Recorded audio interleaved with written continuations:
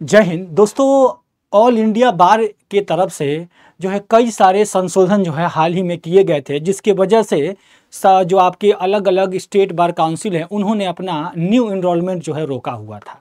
आपको याद होगा, बार काउंसिल के अंदर जो फ़ी को लेकर जो है काफ़ी ज़्यादा जो है वो मामला चला था, जिसमें अलग अलग स्टेट जो है अलग अलग फ़ी लगा रहे थे। तो ये सारे मामले थे जिसमें सभी स्टेट जो है सभी स्टेट की बार काउंसिल जो है अपना अपना जो है, वो प्रोसेस देख रही थी अपना अपना जो है डिसीज़न ले रही थी।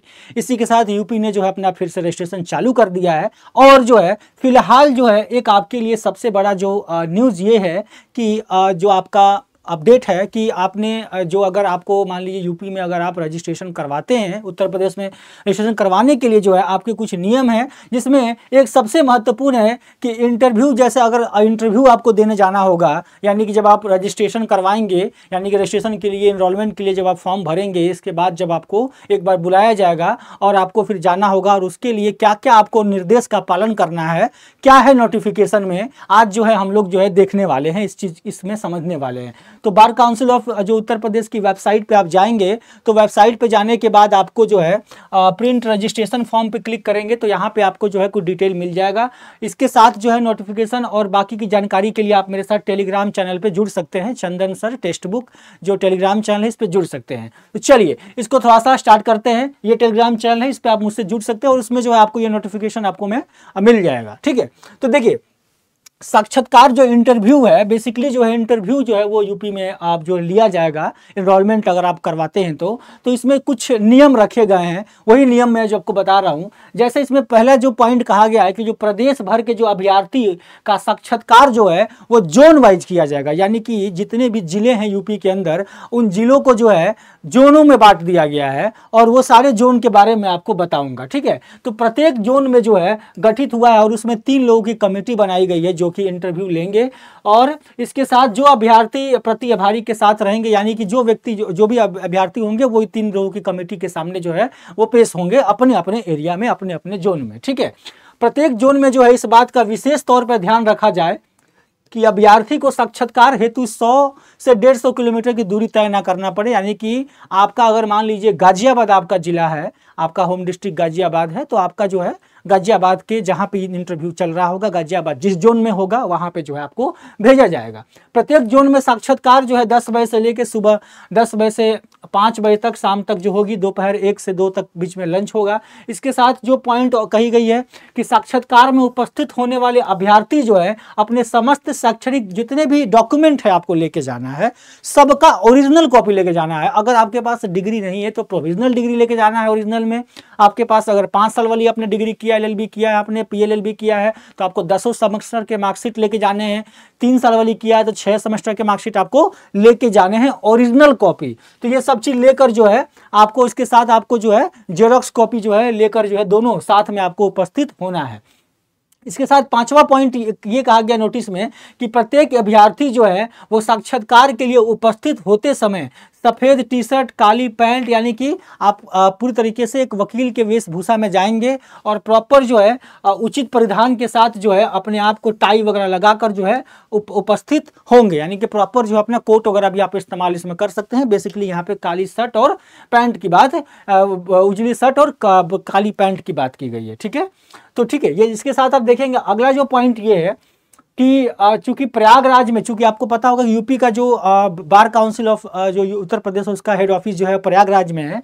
तो प्रयागराज में bar council of India Uttar Pradesh का जो है, वो मुख्यालय है। इसलिए जो सचिव जो है, यानी कि जो सचिव बार काउंसिल ऑफ़ उत्तर प्रदेश के साक्षात्कार के समय प्रयागराज में ही उपस्थित रहेंगे। बाकी की जो तीन तीन लोगों की जो कमेटी बनाई गई है, हर एक जोन में, वो लोग जो है इस चीज़ को करेंगे।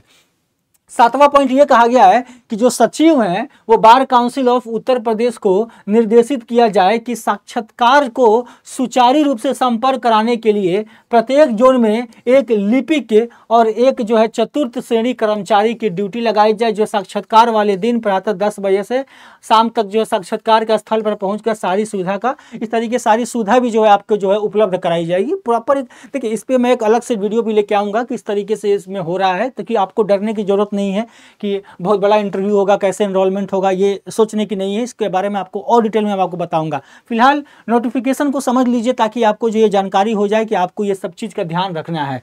यदि समिति, आठवां पॉइंट यदि समिति को ऐसा लगता है कि किसी अभ्यर्थी को उत्तीर्ण नहीं किया जा सकता क्योंकि देखिए, आप देखेंगे बार बार ये आरोप लग रहा है कि वकील जो है वो बहुत ज़्यादा लोग बन गए हैं, बहुत ज़्यादा लोग जो है वो वकील बन गए, जिसके वजह से जो है वकालत की में वैसे लोग भी आ गए हैं जिनको नॉलेज नहीं है। तो वैसे लोग जो कि इनके पास नॉलेज नहीं है, लेकिन डिग्री उन्होंने किसी ऐसे कॉलेज से ले लिया है, जहाँ पैसा दे के ले लिया या फिर आप कह सकते हैं किसी अलग तरीके से ले लिया। तो इसके वजह से जो है, वकालत का पैसा जो है, वो कहीं ना कहीं खतरे में आ रहा है। इसके, इसको ध्यान में रखते हुए सारी जो है नियम को सख्त करने की जो है कोशिश की गई है। और आईबी का एग्ज़ाम भी देखिए, किस तरीके से पैटर्न को चेंज करके जो है प्रॉपर तरीके से जो है, उसको थोड़ा सा और हार्ड बनाने की कोशिश किया गया है। तो ये सारी चीज़ें जो है आपके और हमारे फ़ायदे के लिए ही है।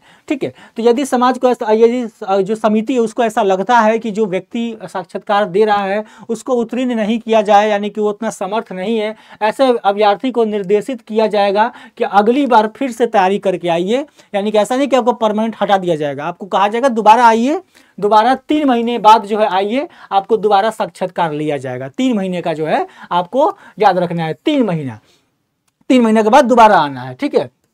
किसी भी अभ्यर्थी को जो है अनुत्तीर्ण न किया जाए, ज़्यादातर ये भी देखा जा रहा है। लेकिन ऐसे बहुत ज़्यादा ऐसे अभ्यर्थी रहे जिनको बिल्कुल ही नॉलेज नहीं है तो ऐसे अभ्यर्थी को जो है तीन महीने का समय दिया जाएगा, ठीक है? वापस आने के लिए। जिन अभ्यर्थियों के विरुद्ध गंभीर अपराध होंगे, ये सबसे इंपॉर्टेंट है, याद रखिएगा कि जिनके ऊपर जो है कोई अपराध का जो केस चल रहा हो, एक से अधिक मान लीजिए कोई केस चल रहा हो, कोर्ट के अंदर लंबित हो, उसके विरुद्ध कोई प्राथमिक दर्ज हो, मान लीजिए एफआईआर कोई दर्ज है, चार्जशीट फ़ाइल हुआ है या ट्रायल लंबित है उन्हें समिति को साक्षात्कार के समय आवश्यक रूप से इस बात का प्रमाण देना होगा। प्रॉपर उनको डॉक्यूमेंट देना होगा और ऐसे अभ्यर्थियों का वाद लंबित रहने तक पंजीकरण नहीं किया जाएगा।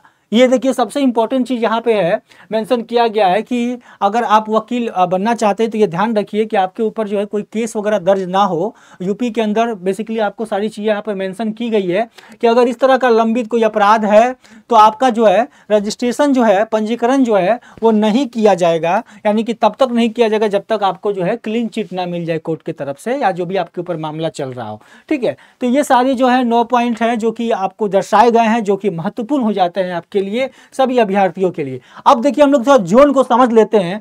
आप देख रहे हैं, यूपी का ये पूरा नक्शा। अब इसमें जोन बटा हुआ है। अब जोन को जो है, बार बार एक एक करके देख लेते हैं। देखिए, जोन वन है। देखिए, ये जितने भी आपको दस जो आपके दिख रहे हैं ज़िले, ये दस ज़िले जो हैं, इनके ज़िले से जो भी लोग बिलोंग करेंगे, उनका सबका जो है, मेरठ में इंटरव्यू होगा। ठीक है? मान लीजिए यहाँ से कोई भी रजिस्ट्रेशन करवाएँगे तो उनको जो है मेरठ जाना होगा। मेरठ में उनको जो है बुलाया जाएगा और वहाँ पे जो है उनका इंटरव्यू जो है, यहाँ की जो तीन लोगों की जो कमेटी बनी होगी, वो इंटरव्यू लेगी। ठीक है? अब देखिए, मेरठ में, मेरठ की, मेरठ में जाएँगे, गाजियाबाद मेरठ में जाएगी, जीबी नगर है, गौतम बुद्ध नगर, नोएडा जो है, वो होगी, हापुड़ है, मुजफ्फरनगर, बागपत है, अमरोहा है, सहारनपुर, शामली, बुलंदशहर, ये सारे दस जो ज़िले हैं, ये सारे जो है मेरठ के पास जो है वो जाएँगे, ठीक है? दूसरा जो जोन बना हुआ है, दूसरे जोन में आगरा में जाएँगे। अब ये में आठ ज़िले हैं जिसमें आपका अलीगढ़ है, इटाह है, फिरोजाबाद, हाथरस, मैनपुरी मथुरा, कासगंज, ये सारा जो ज़िले हैं, ये सभी जगह के लोग जो है वो आगरा में जाएँगे, ठीक है? आगरा में उनको बुलाया जाएगा, ठीक है? अभी तीन लोग कमेटी का भी नाम यहाँ पे दिया गया था, इस तरह तीन तीन कमेटी के लोग जो है, सभी जोन में है। तीसरा जोन जो है वो कानपुर नगर का है, कानपुर नगर में जाएँगे, यहाँ पे इनका होगा, इसमें कानपुर, देहात, फरुखाबाद, उन्नाव, इटावा, आपका कन्नौज है, औरैया है, फतेहपुर है, ये सारा जिला जो है वो कन, जो है कानपुर नगर के अंदर में आएगा। कानपुर नगर जो है, यानी कि यहाँ पे इनका जो है इंटरव्यू होगा, ठीक है? चौथा अगर जोन देखें, इसमें प्रयागराज में इंटरव्यू होगा। इसमें आपका जो ये बारह डिस्ट्रिक्ट है आपके हैं। भदोई है, चंदौली है, आप अयोध्या देख सकते हैं, जौनपुर है, और कुशाम्बी है, मिर्जापुर, प्रतापगढ़, बनारस, सोनभद्र और सुल्तानपुर, चित्रकूट। ये जितने बारह ज़िले हैं, ये सारे ज़िले के जो भी लोग होंगे, उनका जो है प्रयागराज में पड़ेगा। ठीक है इंटरव्यू ठीक है? अगला जो जोन है, वो पांचवा है, लखनऊ। लखनऊ में पड़ेगा। लखनऊ में किसका पड़ेगा? अंबेडकर नगर वाले लोग का। अमेठी है बराइच है और बलरामपुर है, बाराबंकी है, हरदोई है, लखीमपुर खीरी है, गोंडा है, सीतापुर है, रायबरेली है और सरवस्ती है। ये सारे जो ज़िले हैं, ये सभी ज़िले का जो है आपका लखनऊ में पड़ेगा, ठीक है? इसके बाद जो दूसरा देखेंगे आप तो बरेली के अंदर जो है कौन सा पड़ेंगे? यानी कि बरेली में आपका बुडान है, पीलीभीत है, रामपुर है, संबल है, शाहजहानपुर है शाहजहानपुर है इसके बाद मुरादाबाद है, बिजनौर है, ये आठ ज़िले जो है, ये आपके जो है ये आपका पड़ेगा बरेली के अंदर। सातवां नंबर में गोरखपुर का जोन है। गोरखपुर में पड़ेगा, इसमें कुशीनगर है, बस्ती है, महाराजगंज, मऊ है संत कबीर नगर, सिद्धार्थ नगर, देवरिया, आजमगढ़, बलिया, गाजीपुर। ये सारा जो है वो गोरखपुर में पड़ेगा इनका, ठीक है इंटरव्यू और आठवां है झांसी। झांसी में आपका ललितपुर आ जाएगा और जलाउन हो गया महोबा हो गया, बंदा हो गया और हमीरपुर हो गया। ये सारे जो है झांसी के अंदर आ जाएँगे, ठीक है? तो ये सारे टोटल जो है आपके आठ जो है जोन में डिवाइड किया गया है और सभी जोन में तीन तीन लोग की कमेटी जो है वो बनाई गई है। तो अब आप अगर फॉर्म भरेंगे तो फॉर्म भरने के बाद आपको एक डेट मिलेगा और उस डेट पर जो है आपको अपने जोन में जाना है और वहाँ पे अपने कागजात लेके पहुँच जाना है अपने अच्छे आचरण के साथ। यानी कि आप अपने प्रॉपर जो है जो है आपके साथ कोई केस वगैरह ना हो, ये सारी चीज़ों को आप देख लेंगे, जो भी निर्देश मैंने बताया। तो इस चीज़ों का ध्यान रखकर जो है आप जो है, वो अपना रजिस्ट्रेशन कराएँगे। और अगर आप किसी कारणवश रजिस्ट्रेशन आपका नहीं किया जाता है तो तीन महीने के बाद दोबारा जाएँगे, फिर आपका रजिस्ट्रेशन किया जाएगा। ठीक है? तो आशा करता हूँ कि जानकारी आपको पसंद आई होगी। और अगर आपको ये नोटिफिकेशन और इससे संबंधित जो जानकारी आपको चाहिए तो मेरे साथ टेलीग्राम चैनल पर जुड़ जाइए, चंदन सर टेक्स्ट बुक ये जो टेलीग्राम चैनल है मेरा, चंदन सर टेक्स्ट बुक इसके साथ जुड़िए। करंट अफेयर की क्लासेस भी मैं आपका स्टार्ट करने जा रहा हूँ, जिसमें आपको लीगल करंट अफेयर से संबंधित जो है शॉर्ट तरीके से मैं आपको बताऊँगा और उसकी पी भी जो है आपको टेलीग्राम में शेयर की जाएगी। तो आशा करता हूँ कि आपको जानकारी पसंद आई होगी और जानकारी पसंद आई होगी, जुड़िए हमारे साथ। तब तक के लिए जय हिंद, जय भारत।